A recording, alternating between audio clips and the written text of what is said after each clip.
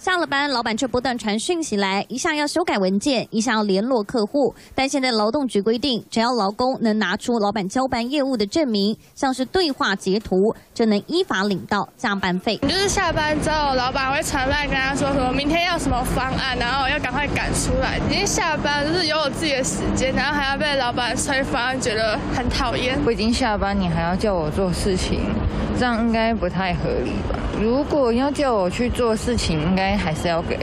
北市劳动局就曾接获检举，有企业老板在下班时间要求员工在明天早上把东西放在他桌上，就算员工提醒今天是星期日，但老板却说麻烦你加班赶工一下。但这样的案例就算加班，如果老板违规不给加班费，可处两万到一百万元的罚款。算一算，大概有三条你就会处罚了。一个就是说你到底有没有依照一例一休，呃，去让你的劳工休息啊？第二个，你有没有呃核实的去登载？工时，第三个你有没有给加班费？所以这三条如果用最低的金额来讲的话，就是十三万起跳。但 line 怎样的讯息算加班？加班费又怎么算？还得以各县市裁定为准，雇主还得多加留意，避免劳资争议。三新闻孟广陈佑荣台北报道。